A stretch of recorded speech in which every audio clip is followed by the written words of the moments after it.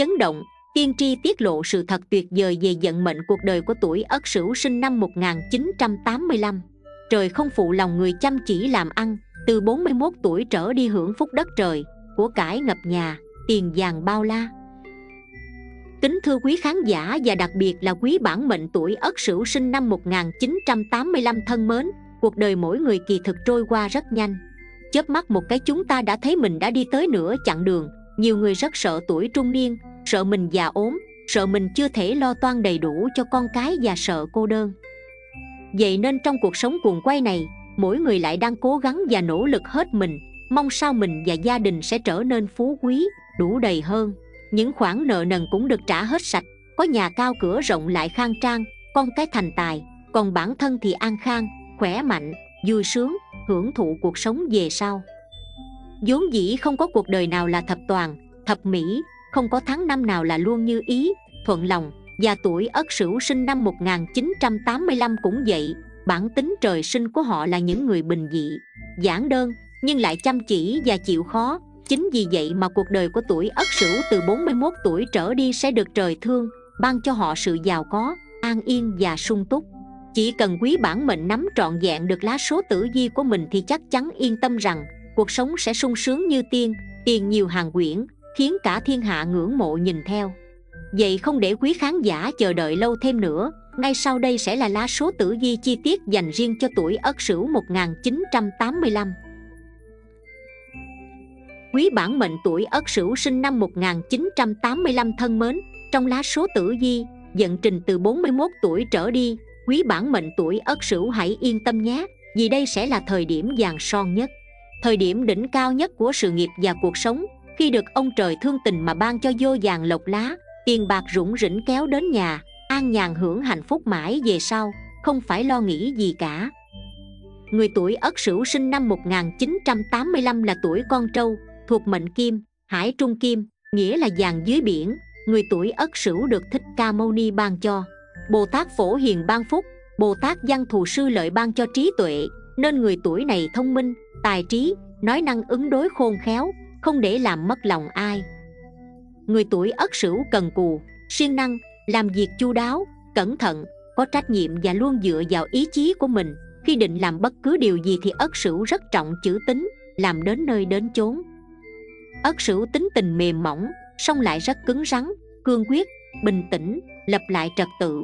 Họ cũng có tính bảo thủ, tôn trọng nề nếp cũ, kỹ lưỡng và sòng phẳng, không thích nợ nần còn khi nợ nần thì nhớ rất kỹ và họ cũng thích người khác cư xử lại như vậy. Ất sửu ham làm những công việc tiên phong đi đầu, nên các lĩnh vực mới, có tính sáng tạo và đột phá, họ đều quan tâm nhờ điều này, nên xã hội không ngừng tiến bộ.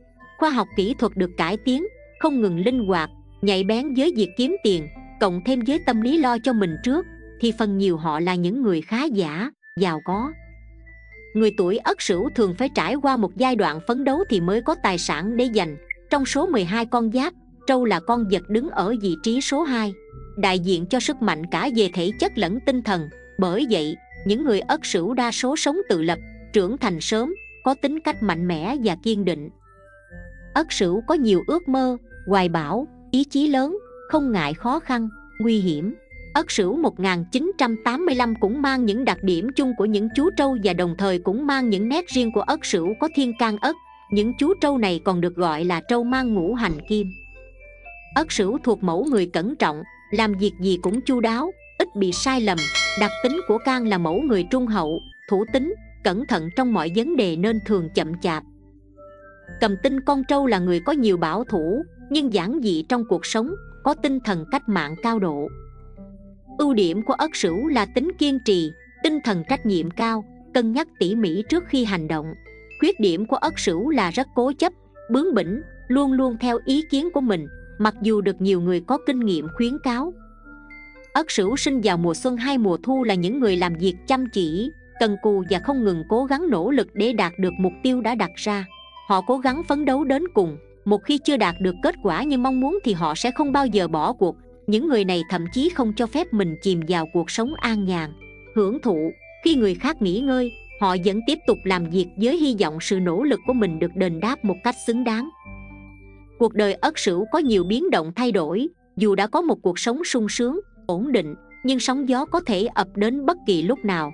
Điều đó không quá lo lắng. Khi ất sửu có khả năng thích ứng nhanh với mọi hoàn cảnh, dù trong tình thế nào thì họ cũng dễ dàng làm chủ được cuộc sống của mình ất sửu thật sự là những người có vẻ ngoài khá nhút nhát, điềm tĩnh, nhưng lại có một trái tim vô cùng ấm áp, khi yêu. Họ không biết cách thể hiện tình cảm của mình cho đối phương biết điều đó, khiến cho họ sẽ đánh mất một nửa của mình và bị cho là một kẻ vô tâm, hờ hững.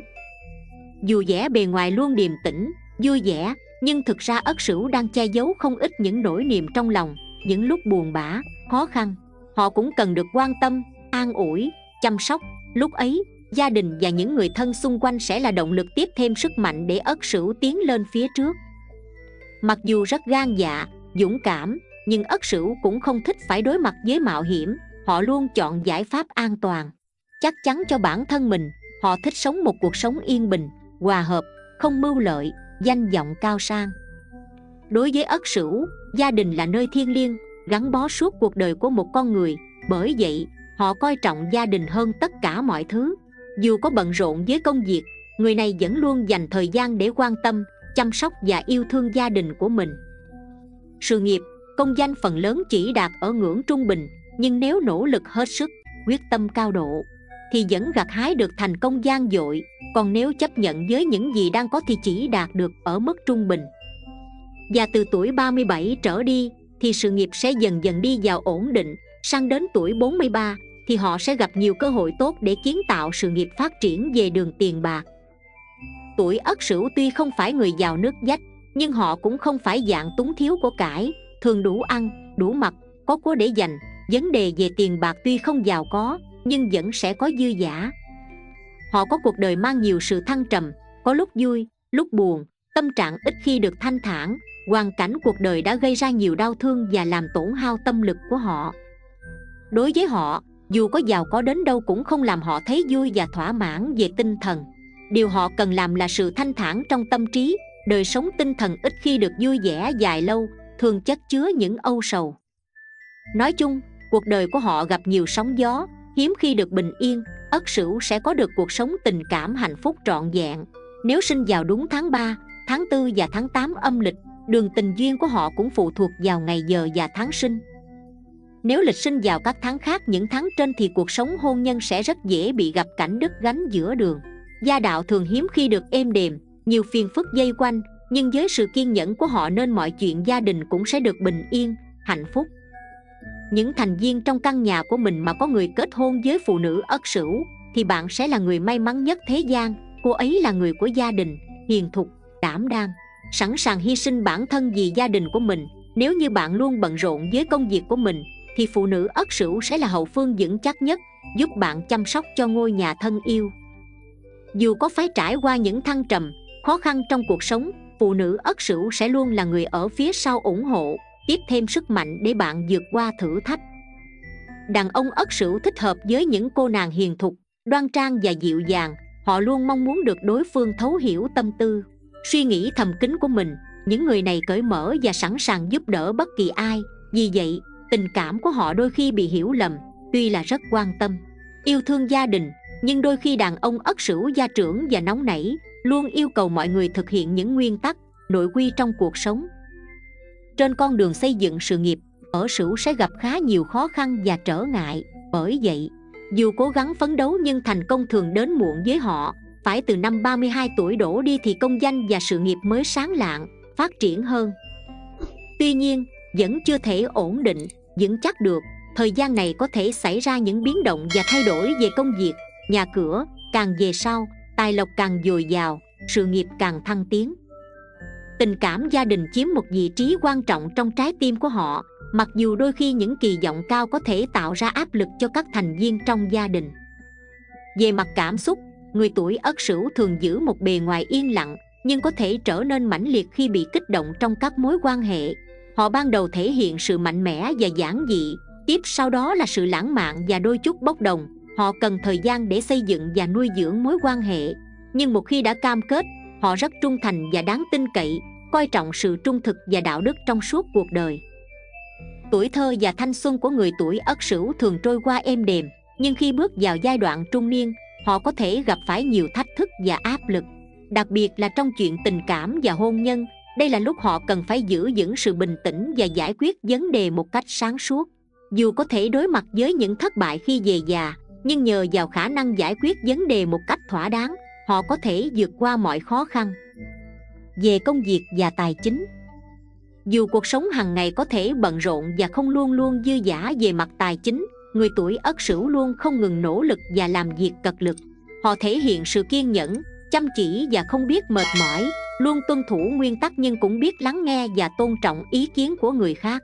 Dù sự cứng nhắc trong quan điểm có thể trở thành một thách thức, lòng kiên nhẫn và sự chăm chỉ chính là chìa khóa giúp họ đạt được thành công. Nam mệnh có số giang hồ tứ hải giai huynh đệ, nữ mệnh có số bôn ba. Đối với tình cảm người tuổi ất sửu rất trọng về tình cảm gia đình. Họ thường có cảm giác cô độc và thiếu tri kỷ tâm giao nên luôn khao khát phải ổn định những vấn đề trong chuyện tình cảm. Đa số người tuổi ất sửu có tính cách hướng nội, bề ngoài biểu hiện sự bình hòa, nhưng bên trong lại là thế giới cảm xúc phong phú.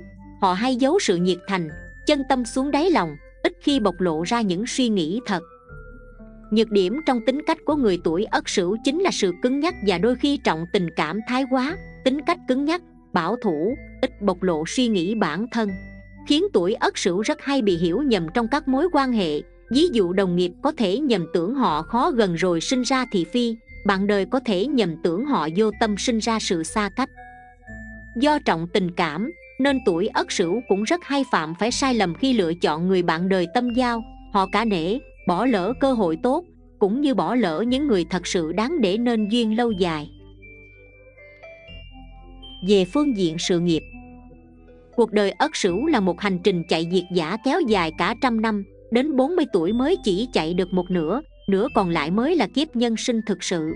Dẫu sao tính chủ cũng đã 40 tuổi rồi 40 tuổi vừa hay lại là bước chuyển ngoặt của hành trình diệt giả ấy. Khi ấy, ất sửu mới chỉ chạy được nửa quãng đường, nhưng đã tích lũy được những kinh nghiệm vô cùng phong phú, lại có thể thấy được diễn cảnh tươi sáng của tương lai, nếu cuộc đời là một hình vòng cung thì ở tuổi 41 có thể nói năng lực tổng hợp của ất sửu là ở đỉnh điểm của hình dòng cung đó, những trải nghiệm kiếp nhân sinh và mối quan hệ xã hội của tính chủ là nguồn tài nguyên quý giá, chỉ cần quy hoạch cẩn thận, khéo léo xếp đặt, chú ý giữ gìn sức khỏe thì thời gian đỉnh điểm của cuộc đời ấy của ất sửu sẽ có thể kéo dài hơn. Theo tử di trọn đời tuổi ất sửu, từ 41 tuổi trở đi con giáp này sẽ may mắn liên tiếp nhận lộc trời ban, công việc suôn sẻ thuận lợi, sự nghiệp đi lên như diều gặp gió. Dù làm trong lĩnh vực nào họ cũng đạt được nhiều vị trí quan trọng, được mọi người tin tưởng, yêu quý, họ khiến người khác khâm phục mình bởi sự tập trung, sáng tạo trong công việc, sự nghiệp thăng tiến mạnh. Đặc biệt từ 41 đến 80 tuổi này vận quý nhân của ất sửu cũng rất dượng, nhờ vào sự chiếu cố, giúp đỡ của quý nhân mà cuộc sống của ất sửu gặp nhiều điều tốt lành, may mắn, làm việc gì cũng thuận lợi gặp nhiều điều rực rỡ tốt đẹp, ất sửu sẽ bước vào thời điểm huy hoàng, thịnh vượng nhất của bản thân. Chỉ cần ất sửu có đủ sự tự tin, bản lĩnh, tập trung cao cho công việc, thì thu nhập tiền bạc sẽ ngày càng dồi dào, của cải tích chữ ngày càng nhiều, nhà đẹp xe sang đủ cả, có cuộc sống êm ấm hạnh phúc khiến bao người ngưỡng mộ ao ước. Từ 41 tuổi, sự nghiệp của ất sửu ổn định hơn hẳn, những lần tiến hành công việc ất sửu đều diễn ra suôn sẻ và hanh thông mở ra nhiều thời cơ làm cho cuộc sống khá khẩm hơn trước, thậm chí là ất sửu có thể dương lên trở thành một trong số những con giáp giàu có nhất. Nhất là đây cũng là thời điểm cực kỳ lý tưởng và phù hợp dành cho ất sửu. Nếu như muốn khởi nghiệp, đầu tư góp vốn để sinh lời vào những dự án ngắn hạn.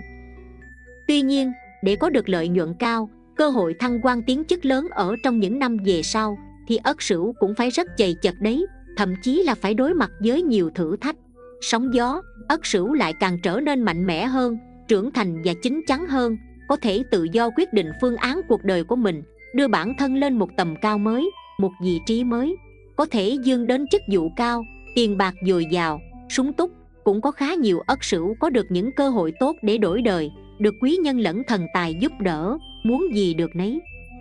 Dận trình lên như diều gặp gió, cuộc sống vui vẻ và viên mãn đồng thời giai đoạn này cũng chính là cơ hội để ất sửu có thể lấy lại những gì đã thất thoát. Mất đi ở trước đấy, có thể tích góp, tiết kiệm được một khoản kha khá cho tương lai về già của mình. Trên thực tế, mọi giai đoạn tuổi đều có thể sống một cuộc sống tuyệt vời của riêng mình. Miễn là ất sửu có một thái độ lạc quan và sẵn sàng làm việc chăm chỉ vì nó, thì tính chủ có thể tạo ra một cuộc sống khác biệt với những người khác. Tam thập nhi lập, tứ thập bất hoạt, ngũ thập tri thiên mệnh đời người ai không muốn công thành danh toại, nếu có thể ất sửu nào mà không muốn làm ra thành tựu. Không để lại bất cứ tiếc nuối gì trong cuộc đời ngắn ngủi mấy chục năm của mình. Từ thời thiếu niên vô tư, chuyển sang một thanh niên đầy nhiệt huyết, rồi dần dần trở về với cuộc sống trung niên bình lặng. Đó là những giai đoạn bắt buộc trong cuộc sống này. Ở mỗi một giai đoạn, ất sửu đều không ngừng đưa ra những sự lựa chọn. Mỗi sự lựa chọn lại dẫn tới một kết quả hoàn toàn khác nhau. Để đến cuối cùng có người gặt hái thành tựu để đời có người tích góp được một phần gia sản cho con cháu về sau nhưng cũng có không ít người trở về với hai bàn tay trắng khi xem tử di trọn đời của người tuổi Ất Sửu 1985, người này mệnh có tài quan, lại được phúc tinh tử di chiếu rọi, nên sẽ có đường công danh sự nghiệp vững vàng. Tuy thời trẻ gặp nhiều sóng gió, nhưng từ những năm 41 tuổi trở đi, tiền tài, sự nghiệp bắt đầu ổn định và vững chắc, càng về sau càng hanh thông hơn. Sự nghiệp của họ đi đôi với tiền bạc, nên sự nghiệp càng thăng hoa, họ càng giàu có, tiền bạc dồi dào, cả đời no ấm, không lo cơm áo gạo tiền, cuộc sống an nhàn cao sang quyền quý. Về phương diện tài lộc theo tử di trọn đời dự báo tài lộc của ất sửu 1985 sáng sủa tuy tiền giận không được giàu có nhưng càng về sau thu nhập càng ổn định có nhiều nguồn thu tiền bạc dư giả nhờ vậy mà cuộc sống có phần lên cao về vấn đề tiền bạc, về hậu giận không phải lo nghĩ gì, cuộc sống ấm no, giàu sang phú quý, lại được con cháu hiếu thảo phụng dưỡng. Thời trẻ người tuổi ất sửu ngay thẳng, thật thà, nên dễ bị lừa lọc trong chuyện tiền bạc. Nhưng cũng vì đức tính chăm chỉ siêng năng để tạo ra của cải, nên đôi lúc được ban cho giận may làm ăn, nhờ vậy cuộc sống luôn sung túc đầy đủ từ 41 tuổi ở hiện tại ất sửu đã có nhiều kinh nghiệm hơn, cũng có cho mình hướng đi và nhiều cách kiếm tiền. Tuy nhiên đa phần tuổi ất sửu thường chi nhiều hơn thu, nên tránh xa chốn cờ bạc đỏ đen. Nếu có cơ hội đầu tư, nên suy xét thật kỹ, cẩn trọng khi hành động, tốt nhất nên dùng tiền vào những việc rõ ràng. Người tuổi ất sửu thường sống khá tiết kiệm, dành dụng của nã không ít. Có nhà cửa đất đai, tiền bạc đồ giá trị, song đôi khi lại tiêu xài vô độ dung tay quá chán. Để rồi sau đó lại hối hận không thôi. Người này trong đời cũng có cơ hội giành được những khoản thu ngoài dự kiến. Nhờ đó mà phát tài. Song đừng vì thế mà chìm đắm buông thả bản thân. Ngoài ra, không khéo léo trong giao tiếp, nên người tuổi sửu cũng bỏ lỡ khá nhiều cơ hội phát tài. Nếu có thể sửa được những điểm này, thì tài lộc thanh thang, giàu sang phú quý. Trong cuộc đời tuổi ất sửu, tài lộc bình bình ở tiền giận, nhưng dục cao sáng sủa vào thời kỳ trung giận đặc biệt từ 41 tuổi, mệnh của bạn có thể yên tâm. Bởi chính tài ở bên, đảm bảo thu nhập từ công việc chính khá vững vàng. Ngoài ra còn có nhiều cơ may trong đời để đổi giận giàu có. Tuy nhiên hung tinh dễ gây ra những chuyện bất ngờ. Điển hình là có những chuyện nảy sinh bất ngờ trong cuộc sống. Đòi hỏi phải dùng tiền mới có thể giải quyết được. Vì thế tuổi ất sửu trong cuộc sống nên thận trọng với các chuyện làm ăn, đầu tư, hoặc các vấn đề liên quan đến kiện tụng vì một khi theo đến cùng thường không được lợi, mà còn lỗ, tiêu hao tài sản tiền bạc của chính mình. May mắn tuổi này có con cái thành đạt, về sau nhận được lộc trời ban, nhà cửa khang trang, đất đai cũng không ít, về già sống ấm no hưởng phúc. Về phương diện tình cảm, gia đạo. Về tình cảm hầu hết nam giới tuổi ất sửu rất được nhiều phụ nữ ái mộ, cương nghị, quật cường, thích những cô gái dịu dàng và khéo léo trong tình yêu. Đàn ông tuổi ất sửu có điểm yếu chí mạng, họ hay nghi ngờ ghen tuông vô lý, khiến người yêu không ít lần buồn tuổi vì mắc tiếng oan. Tuy nhiên đây lại là người chồng mẫu mực, luôn quan tâm chăm sóc vợ con, không ngại làm việc nhà, khiến bạn đời luôn cảm thấy hạnh phúc đủ đầy. Song vì bản tính thận trọng, dè dặt, nên họ thường lập gia đình muộn. Nữ giới tuổi ất sửu biết cách chăm sóc và xây dựng gia đình, họ luôn hết lòng vì gia đình tình yêu của tuổi ất sửu rất thực tế. Không lãng mạn và ước ác, trong tình yêu họ rất ôn tồn và chịu đựng. Hôn nhân của tuổi ất sửu nữ mạng khá êm ấm. Người tuổi ất sửu rất đào hoa, vì vậy nên hạn chế các mối quan hệ quá thân thiết để tránh tình cảm vợ chồng bị ảnh hưởng. Phần gia đạo, ất sửu sinh năm 1985 có gia đạo được êm ấm và hoàn toàn hạnh phúc, trong suốt cuộc đời sẽ không gặp phải những biến cố quan trọng duy chỉ có lúc nhỏ là hay gặp phải khó khăn, gia đạo có trục trặc đôi chút, nhưng không vấn đề gì cả rồi cũng trôi vào quá khứ. Về tương lai cuộc sống yên bình, con cái thành đạt, hưởng phúc con cái về già, đối với tuổi ất sửu, gia đình là nơi thiêng liêng, gắn bó suốt cuộc đời của một con người. Bởi vậy họ coi trọng gia đình hơn tất cả mọi thứ, dù có bận rộn với công việc, người này vẫn luôn dành thời gian để quan tâm chăm sóc và yêu thương những thành viên trong căn nhà của mình trong gia đình mặc dù rất ít khi thể hiện tình cảm của mình qua lời nói, nhưng tuổi ất sửu luôn có những hành động yêu thương vô cùng ấm áp, ngọt ngào. Có đôi lúc họ trở nên nghiêm khắc, khiến không khí gia đình buồn chán, kẻ nhạt, nhưng cũng có đôi lúc họ đem lại niềm vui, tiếng cười cho căn nhà. Trong gia đình ất sửu nam mạng luôn biết cách nhường nhịn, chi tiêu trong gia đình, không bao giờ để những người thân của mình phải gặp thiếu thốn. Tuy nhiên, đàn ông tuổi ất sửu đôi lúc rất gia trưởng, cố chấp luôn muốn người khác phải thực hiện đúng những yêu cầu, luật lệ của mình. Phụ nữ tuổi ất sửu thì rất hiền thục, đảm đang, sẵn sàng hy sinh bản thân vì gia đình của mình. Họ luôn là hậu phương vững chắc nhất, chăm sóc cho ngôi nhà thân yêu. Dù có phải trải qua những thăng trầm, khó khăn trong cuộc sống, phụ nữ tuổi ất sửu cũng vì gia đình, con cái mà cố gắng, nhờ vậy về sau được hưởng lộc từ con cái rất nhiều.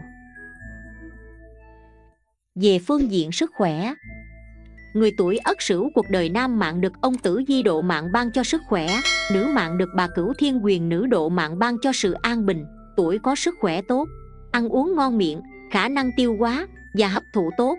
Nếu có thể ăn uống điều độ, giữ tinh thần thoải mái thì chắc chắn sẽ khỏe mạnh cường tráng, thọ lâu trăm tuổi. Tuy nhiên, người tuổi ất sửu mệnh thổ nên dễ mắc các vấn đề về đường ruột như đau dạ dày, viêm ruột, trào ngược dạ dày loét dạ dày, nên hạn chế ăn đồ dầu mỡ, kích thích như cay chua. Cũng không nên ăn quá nhiều đường, nếu không sẽ dễ nhiễm bệnh, nên giữ nguyên tắc ăn đồ thanh đạm thì sẽ rất tốt cho sức khỏe. Lúc còn trẻ, nhiều người tuổi ất sửu thường tập trung cao độ để làm việc, nên ít khi chú ý đến chế độ ăn uống, ngủ nghỉ, thức khuya thời gian dài, khiến cơ thể mệt mỏi, uể oải. Nhưng nghỉ ngơi lại nhanh chóng khỏe lại, thế nhưng cũng không vì thế mà lạm dụng thời gian này bản mệnh đã bước qua độ tuổi 40 thì sức khỏe cũng là điều quan trọng. Hãy luôn lưu tâm để ý, cân bằng giữa công việc và nghỉ ngơi. Dành thời gian bên gia đình đi chơi du lịch ngắn ngày cũng giúp cho tinh thần thêm hưng phấn, giảm bớt căng thẳng áp lực. Ngoài ra thì tập luyện một số môn thể thao cũng giúp sức khỏe luôn được duy trì. Ất sửu hãy luôn nhớ rằng, có sức khỏe là có tất cả, để có thể sống lâu 100 tuổi hưởng phúc bên con cháu quý vị thân mến theo tử di tháng sinh ảnh hưởng rất nhiều đến tính cách cũng như là cuộc đời của con người ất sửu vốn được biết đến là những người chăm chỉ cần cù tâm địa thiện lương tuy nhiên mỗi một tháng sinh lại khiến cho cuộc đời của con giáp này đi theo những hướng khác nhau Vậy vận mệnh của Ất Sửu sinh năm 1985 theo 12 tháng sinh âm lịch sẽ như thế nào? Người tuổi Ất Sửu sinh tháng Giêng, tức là tháng 1 âm lịch. Tháng Giêng cũng là thời điểm Tết đến, xuân về, nên người này cũng được hưởng nhiều phúc khí, là người có quyền lực trong tay. Những giấc giả của tiền giận sẽ biến mất vào trung giận, giận khí chuyển đổi, quá hung thành cát, hậu giận an nhàn, hưởng phúc tuổi già. Tuy nhiên, người này không được hưởng nhiều phước tổ tông phải tự lực cánh sinh dựa vào sức mình phải trải qua nhiều vất vả khổ sở trên con đường lập nghiệp người tuổi ất sửu sinh tháng 2 âm lịch tháng 2 âm lịch là tiết kinh trập ất sửu sinh tháng này có cá tính mạnh mẽ, tự lập, tự cường, dũng cảm, gan dạ có uy quyền. Tuy nhiên, họ cần người dẫn dắt mình trên đường đời. Nếu không sẽ giống như anh hùng không gặp thời, khó có thể phát huy hết năng lực. Cuộc đời của họ trải qua nhiều điều xui rủi, gặp chuyện buồn phiền. Người tuổi ất sửu sinh tháng 3 âm lịch.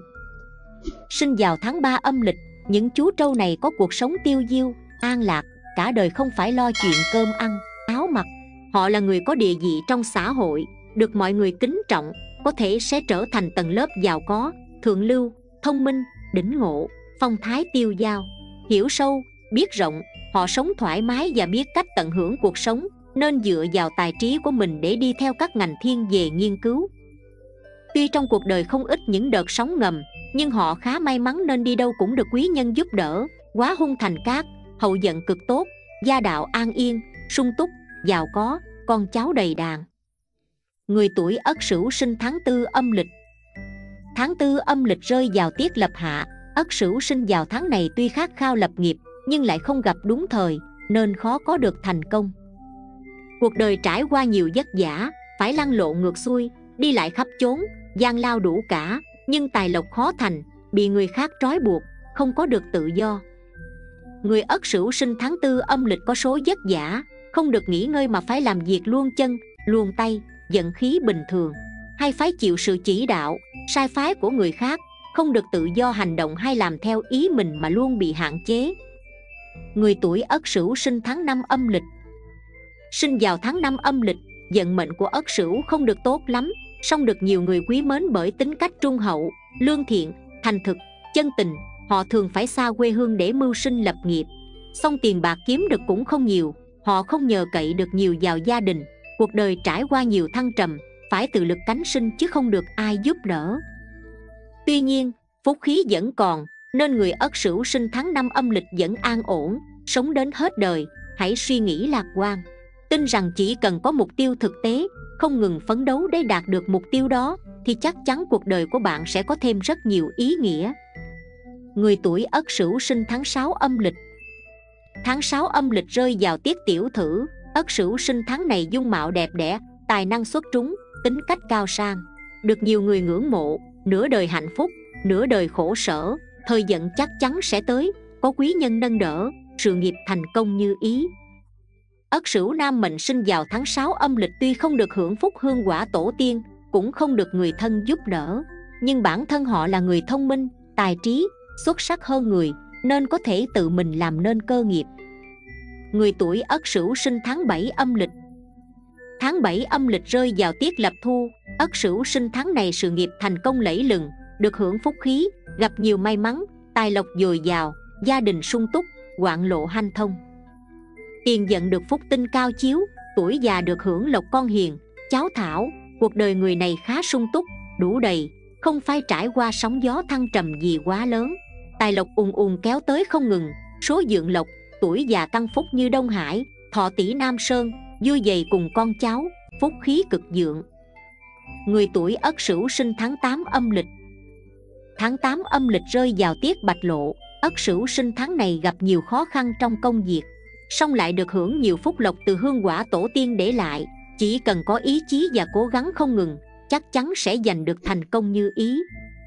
Họ là người tài nghệ tinh thông có duyên ăn nói, biết tiếng, biết lùi, ứng xử khéo léo, tương lai là người sự nghiệp thành công, đức cao vọng trọng. Người sinh tháng 8 âm lịch có sức khỏe rất tốt, phúc khí dượng cuộc đời ít nhiều phải trải qua nguy hiểm. Cũng không có nạn kiện cáo lao tù, họ là người thông minh, lanh lợi, giỏi ứng biến, linh hoạt, danh lợi đủ đầy, con cháu đầy đàn. Người ất sửu sinh vào tháng 9 âm lịch. Tháng 9 âm rơi vào tiết hàng lộ ất sửu sinh tháng này tuy xuất thân bần hàng điểm xuất phát thấp hơn mọi người, nhưng lại có ý chí kiên cường, tất thành đại sự. Họ là người thông minh, mưu trí, có tài lãnh đạo, chuyện cơm ăn, áo mặc cả đời không cần phải lo lắng, thời giận an hòa, mọi sự như ý, các tường, cuộc đời hạnh phúc lâu dài. Người tuổi ất sửu sinh tháng 10 âm lịch. Tháng 10 âm lịch rơi vào tiết lập đông, ất sửu sinh tháng này có suy nghĩ độc lập, hành động thoải mái tự nhiên, họ trải qua nhiều sóng gió. Cuộc đời chịu nhiều vất vả, nhưng cuối cùng thì sự nghiệp vô cùng dưỡng phát, tài lộc dồi dào, con đường học vấn cũng rất hanh thông. Người này có đầu óc kinh doanh khá tốt, rất hợp đi theo con đường kinh doanh, buôn bán, tài lộc cực dượng không lo chuyện cơm ăn, áo mặc, tuổi già phúc thọ song toàn, hưởng lộc an nhàn. Người tuổi ất sửu sinh tháng 11 âm lịch. Tháng 11 âm lịch rơi vào tiết đại tuyết ất sửu sinh vào tháng này được hưởng lộc từ tổ nghiệp, song gặp nhiều tai họa trong đời, chịu khổ cực khó ai bằng, thiếu thốn đủ bề. Mưu sự không thuận, cũng không có nhiều tri âm, tri kỷ, có chuyện buồn không nơi giải bày, công danh sự nghiệp cũng chỉ bình thường. Không có nhiều thành tựu, an ủi duy nhất là sức khỏe, tuy nhiên, nhiều chuyện xảy ra nhưng cuộc đời được bình an.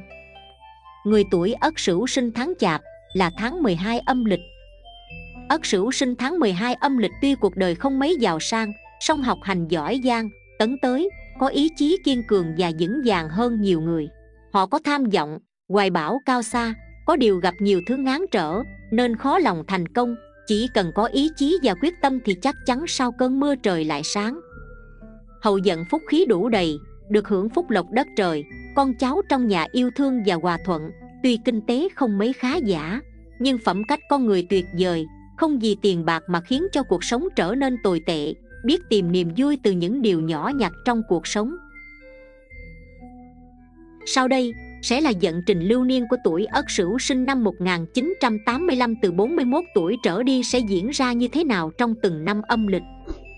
Tử vi tuổi Ất Sửu sinh năm 1985 trong năm Tý.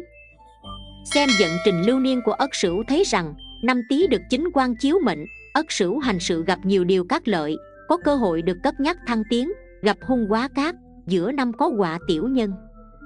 Tuy nhiên, không gây nên sóng gió gì lớn, bản mệnh hành xử khéo léo thì ắt quá giải mọi việc.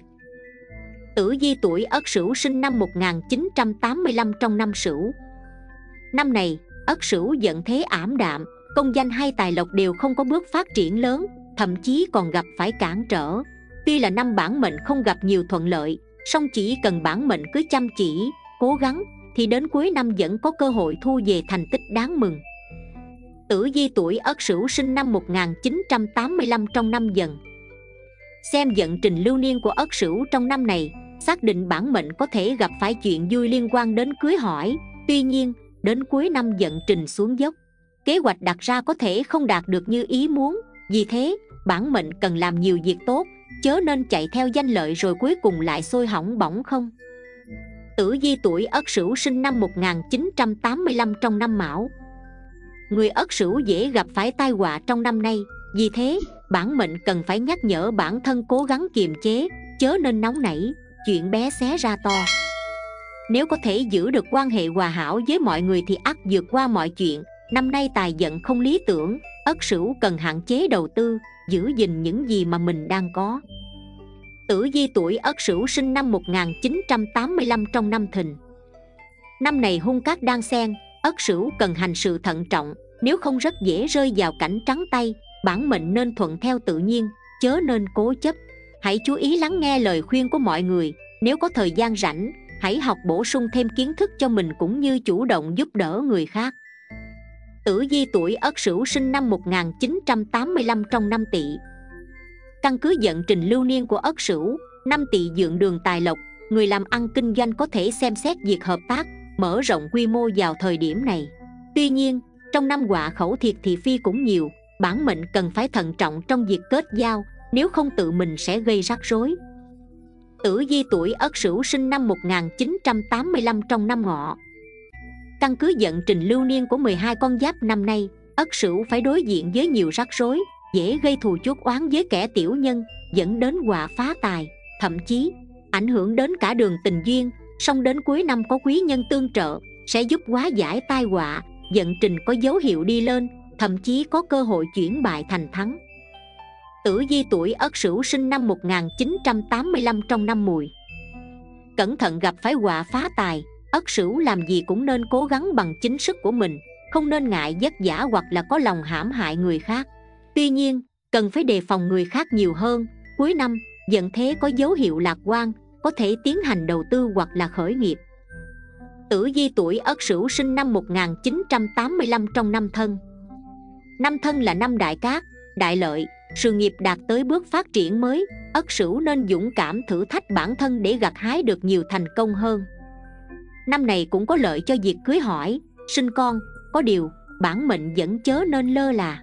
Đề phong sự cố có thể xảy ra bất cứ lúc nào. Nếu dư giả thời gian và tiền bạc thì nên hành thiện tích đức. Tử di tuổi Ất Sửu sinh năm 1985 trong năm Dậu. Năm này lành ít dữ nhiều. Ất Sửu nên chú ý phát triển các mối quan hệ xã giao lành mạnh. Có như vậy thì đến khi gặp khó khăn mới có người giúp đỡ. Thời điểm này nên hạn chế đầu tư Hạn chế mâu thuẫn với người khác Chú ý gìn giữ sức khỏe trong năm Nên giữ tinh thần lạc quan Bình tĩnh đối diện với khó khăn Tử di tuổi Ất Sửu sinh năm 1985 trong năm Tuất. Bước sang năm Tuất, sự nghiệp của Ất Sửu có sự phát triển thuận lợi, tài lộc thịnh vượng. đào hoa cũng có dấu hiệu nở rộ năm này bản mệnh hãy luôn trong tư thế sẵn sàng để nắm bắt các cơ hội đến với mình tuy nhiên cũng cần chú ý giữ mình, tránh gây háo sắc, gây ảnh hưởng đến tiền đồ. Tử Di tuổi Ất Sửu sinh năm 1985 trong năm hợi.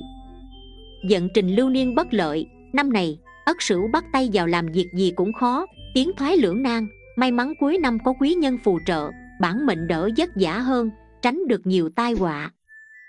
Thời điểm này, Tài lộc dậm chân, Bạn nên chi tiêu tiết kiệm, Hạn chế đầu tư, Chi tiêu phung phí.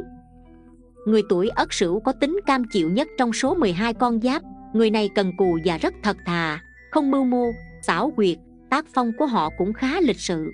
Đoan trang, nếu người Ất Sửu có được tài hoa và trí tuệ từ lời nói Thì bản thân họ cũng có thể gặt hái được thành công trong việc kinh doanh.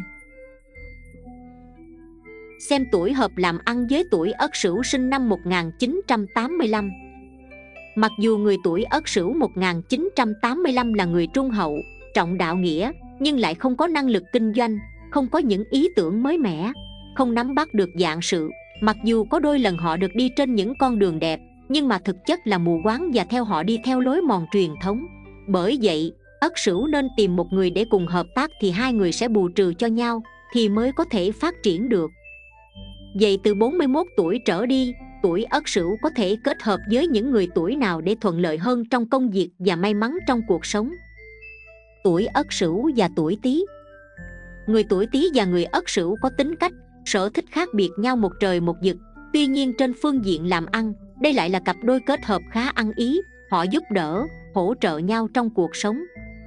Mỗi bên đều có nhược điểm, ưu điểm riêng của mình, chuột nhanh nhạy, thông minh, nhưng cẩu thả, nóng dội, thiếu quyết đoán.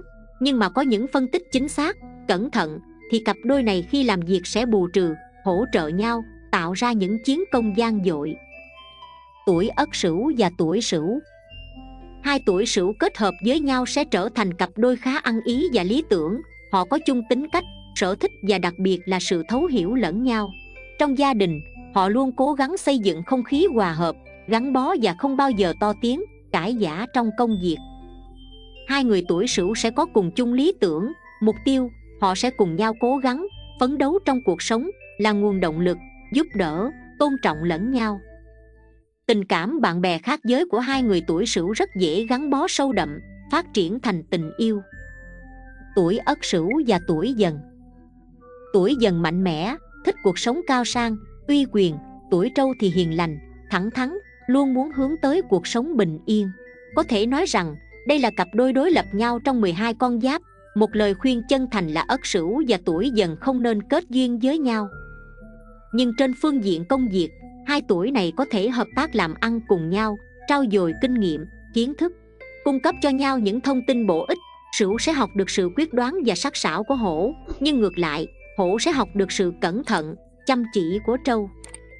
Tuổi ất sửu và tuổi mão, người tuổi mão và ất sửu đều có đặc điểm chung trong tính cách, đó là sống nội tâm, giàu tình cảm, ít giao tiếp và thích những nơi yên tĩnh. Khi trở thành một cặp đôi họ sẽ rất hợp nhau và không bao giờ cảm thấy nhàm chán trong mối quan hệ này.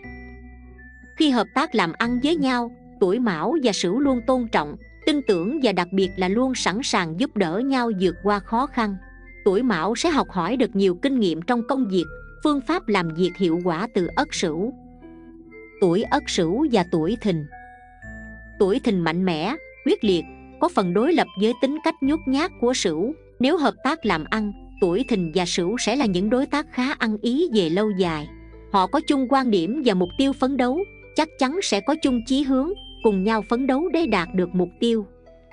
Có thể hợp tác trong thời gian ngắn, còn về lâu dài thì không nên mỗi người một ý, ai cũng cho mình là đúng, dần dần nảy sinh mâu thuẫn và tan rã.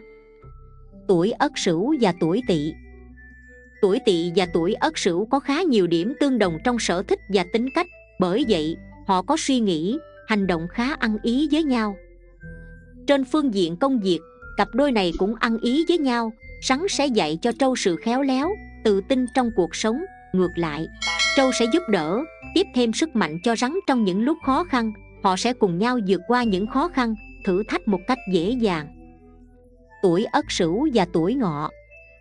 Tuổi ngọ nếu như hợp tác làm ăn với sửu sẽ gặp nhiều may mắn, thuận lợi, bởi lẽ người tuổi ngọ luôn bị cuốn hút bởi những thứ mới mẻ. Hay thay đổi, không kiên định với mục tiêu của mình, còn với sửu thì sẽ giúp ngọ phục hồi được sự thiếu kiên nhẫn này.